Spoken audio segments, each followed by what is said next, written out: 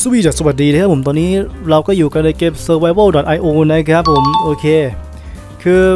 ในคลิปนี้นี่ผมจะมาพูดถึงเรื่องโค้ดนะครับผมซึ่งผมเชื่อว่าหลายคนที่ดูคลิปผมนะครับผมก็อาจจะไม่ได้รู้เรื่องโค้ดนะบางคนก็รู้อะส่วนใหญ่ก็รู้นะครับผมที่ไปติดตามเพจนะหรือติดตามทางแบบพวกอ่า Discord อะไรอย่างนี้นะครับผมก็จะแบบรู้ว่ามันมีโค้ดตัวนี้เข้ามา นะครับจะมีโค้ดที่ให้รางวัล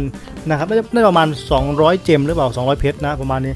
ซึ่งมันก็ดีมากๆนะครับ ใครที่ต้องการนะคือแบบว่าเราได้มาฟรีๆมันดีมากนะผมก็ได้มาเหมือนกันนะครับอ่าไอตัวเจมเนี่ยก็วิธีการที่เราจะเข้าไปรับนะครับผมก็ไม่ได้ยากครับผมจะทิ้งทิ้งโค้ดไว้ให้เลยใต้ description นะผมทิ้งไว้ใต้คอมเมนต์เลยนะครับโอเคครับ คือวิธีการใส่โค้ดบางคนยังรู้บางคนไม่รู้ นะครับเดี๋ยวลิงก์ที่จะใส่โค้ดเนี่ยผมก็จะทิ้งไว้ข้างล่างเหมือนกันนะครับอย่าลืมไปใส่กันแล้วกันนะครับผมเพราะว่า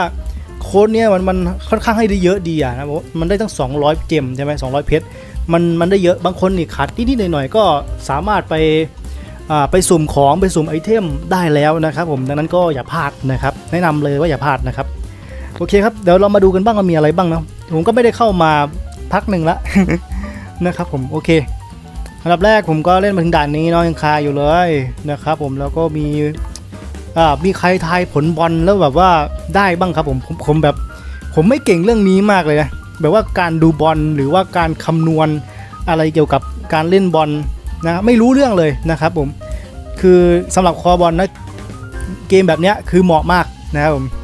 มันเป็นการแทงบอลนะครับผมถ้าพูดกันตามตรงแบบแบบนั้นเลยก็คือการแทงบอลเดิมพันนะครับผม ผมก็จะประมาณเนี้ย อืม อันนี้ผมไม่เล่น โอ้หนึ่งสามโห ไม่เล่นเลย อันนี้เขาเขาไม่ให้เดิมพันแล้วตรงนี้ นี่คือปิดละ ตรงนี้ปิดละ กลุ่ม B กลุ่ม B กลุ่ม D กลุ่ม D กับกลุ่ม C นี่ปิดละ อันนี้ผมมาเลือกตรงนี้ก็ญี่ปุ่นดีไหม ผมก็เลือกญี่ปุ่นไปก่อน ผมไม่รู้จริงว่ามันจะโอเคไหม ญี่ปุ่นรู้สึกว่าก็รับรับที่แล้วก็ถือว่าสุดจัดเหมือนกันนะ อืม เห็นแต้มแล้วก็โอเคเลย ดี๋ยวดูก่อนมีอะไรอีกบ้างอาร์เจนตินากับเม็กซิโกอ่อฝรั่งเศสเดนมาร์กอะไรเงี้ยก็ลองดูนะครับผมลองดูนะว่ามันจะยังไงดีใครที่แบบเก่งบอลก็ช่วยบอกผมหน่อยแล้วกัน ว่ากูเอ่อกลุ่มไหนเออเขาเรียกว่าอะไรนะทีมไหนมันดีอะไรเงี้ยไม่รู้เหมือนกันนะไม่ได้คำนวณเรื่องนี้เลยนะครับผมส่วนคราวนี้ก็มาพูดถึงเรื่องไหนดีเออไม่มีเรื่องให้พูดแล้ว ใครที่ยังไม่ผ่านนะก็แนะนำครับผมมาเล่นให้ผ่านนะครับผมสำหรับด่านท้าทายประจำวันระดับเมกานะ ก็เป็นด่านหนึ่งที่ผมคิดว่าให้รางวัล เยอะนะครับแล้วก็คุ้มค่านะแต่มันก็ยากจริง ๆ นะครับผมใครที่ไม่ผ่านก็สามารถดูดูได้ที่คลิปคลิปก่อนหน้านี้ของผมที่ผมเล่นผ่านเอาไว้นะผมผมเล่นผ่านไปแล้วนะอ่ากับอันนี้คือดูไว้เป็นวิทยาทานเฉยๆนะครับ ไม่ใช่ว่าเอ้ยพี่แบบพี่เก่งอย่างงู้นเอ้ยไม่ไม่ไม่เก่งนะทำไมพี่ของเยอะอย่างนี้อย่างนั้น มันก็ของเยอะก็เหมือนเดิมนะทุกคนนะคือ คือเกมมันอะมันออกแบบมาให้เราเล่นแบบค่อนข้างจะใช้ฝีมือมากขึ้นแล้วนะครับผม ดังนั้น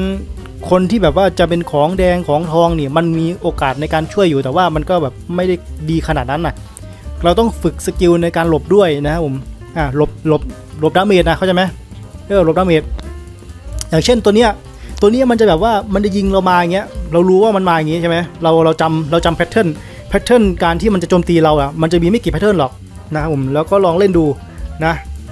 แต่หลักๆ แล้วพวก boss นี่มันก็วุ่นวายนิดนึงนิดนึงนะ ถือว่าไม่หนักนะ ผมจะไปวุ่นวายกับเรื่องเรื่องที่จะเป็นอ่าพวกลูกน้องซะมากกว่านะผมลูกน้องอย่างเช่นอ่าเราเจอหมูเขียวใช่ไหมไอหมูเขียวเนี่ยมันจะเป็นหมูอ้วนเนี่ยเนี่ยด่านนี้เลยครับผมนี่ด่านนี้ด่านที่สองนะครับด่านที่สองนะคือไอหมูเขียวเนี่ยมันอึดมาก เราต้องทำอะไรทำ damage มันคิดเลยครับผมต้องคิดแล้ว มันมีของชิ้นไหนทำ damage อืมคราวนี้เราก็มานั่งคำนวณดู นะมีไฟไหมมีอะไรนี้ไหมระเบิดไหมหรือว่าอะไรดีนะคราวนี้เราก็จะมีมันมีอยู่แค่ไม่กี่อย่างนะที่มันเป็นปัญหากับเราอะผมคิดว่าหลักๆ แล้วผมมาเจอตัวหมูใช่ไหมหมู แต่ว่าสำหรับผมหมูไม่เท่าไหร่หนักสุดก็คือไอตัวตัวแย้ครับผมไอตัวแย้สีสีฟ้าอะตัวแย้สีฟ้าพ่นไฟ ตัวนี้เลยเป็นตัวที่แบบว่าทุกคนต้องเจอแล้วทุกคนต้องแบบร้องโอยโอเคเป็นเสียงเดียวกันนะครับผม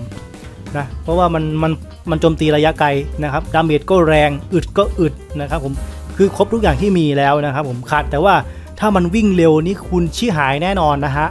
นั่นแหละคือความซวยนะครับอ่าแล้วก็มันจะมีอีกตัวหนึ่งที่เป็นหัวหน้าแย้เลยก็คือ mini boss อ่าเขาเรียกว่าอะไรนะมันเป็นตัว elite นะเป็น boss elite นะครับผมที่จะวิ่งมากับลูกน้องอะตัวใหญ่อะมันจะมีไอ้แย้ตัวสีน้ำตาลตัวนั้นแหละไอ้ตัวนั้นแหละคือมัน อึดมากแล้วมันโหมันตัวใหญ่ด้วยมันยิงทั้งแมปเลยอะแล้วทางแคบๆอย่างเงี้ยแบบคือแย่มากผมบอกเลย แย่มากนะครับอะก็ขอให้ผ่านแล้วกันนะครับผมเพราะว่าตรงนี้ก็ค่อยๆเล่นไปนะค่อยๆเล่นไปไม่ต้องไปซีเรียสมาก มันไม่ได้ใช้อ่าไม่ได้ใช้ตัว energy อ่าตัวพลังงานนะ ดังนั้นก็ค่อยๆเล่นผ่านไปแล้วก็จับทริคจับวิธีการผ่านจับอะไรเงี้ยแล้วมันก็จะผ่านเองแหละครับผมประมาณนี้มันเป็นการฝึกฝีมือด้วยนะครับผม กับด่านตัวนี้ครับผมด่านท้าทายพวกนี้ก็ใช้ฝีมือนะครับ เพราะว่ามันจะไม่ได้ใช้พลังงานหรือ energy ในการผ่านเนาะยังไงก็ลองฝึกฝึกดูนะครับผมนะเพราะว่าบางทีมันอาจจะไม่ได้ขึ้นกับตัวดาเมจตรงนี้เนี่ยตัวชุดพวกนี้มากขนาดนั้นนะครับผมผมเห็นบางคนนะ มีแค่พลังเขาเรียกว่าพลัง ATK นะพลังโจมตีนะอยู่แค่ประมาณหมื่นต้นๆหรือว่า 8,000 9,000เขาก็เล่นจบไปแล้วนะ จบหมดแล้วนะ ก็คือเขาเก่งจริงๆ อันนี้ผมยอมรับเลยนะ นะก็มีเยอะนะครับผมแต่ว่าส่วนตัวผมเองผมเล่นไม่เก่งนะตัวผมนะเล่นไม่เก่ง ก็เลยเล่นไปตามมีตามเกิดนะครับ คือสู้ได้ก็สู้ สู้ไม่ได้ก็ค่อยๆเป็นค่อยๆไปไปเรียนรู้ไปนะครับผมตามนั้นเลยนะครับผมโอเคครับผมสำหรับคลิปนี้ก็มาพูดกันพูดคุยกันเล็กน้อยนะครับผมหลังจากที่ผมไม่ค่อยได้ทำคลิปมาพักหนึ่งนะพักหนึ่งไม่กี่วันเองเอาจริงๆนั่นแหละครับผมก็มันจะเงียบเหงานะครับผม เผื่ออยากคิดถึงกันอะไรอย่างงี้โอ้ยสำคัญตัวเองเลยเราเราเล่นนะครับก็คือมาพูดเรื่อง gift code นะครับผม code item code ที่เขาจะแจกเป็น item ต่างๆนะมีรางวัลต่างๆนะครับผมก็จะทิ้งไว้ใต้ comment เลยนะครับผมยังไงก็ไปกดรับกันนะครับผมคุ้มค่ามากแล้วก็รีบใช้ด้วยนะครับผมเพราะว่ากลัวมันหมดก่อนไง มันมีเวลาของมันไงว่าเออถ้าหมดเดือนนี้นะ มันก็จะหมดแล้วก็ใช้ไม่ได้แล้วโค้ดตัวนี้นะครับ โอเคครับผมสำหรับคลิปนี้ก็ไม่มีอะไรมากเนาะ ก็ค่อยมาเจอกันใหม่ในคลิปหน้านะครับผมสำหรับคลิปนี้บ๊ายบายครับ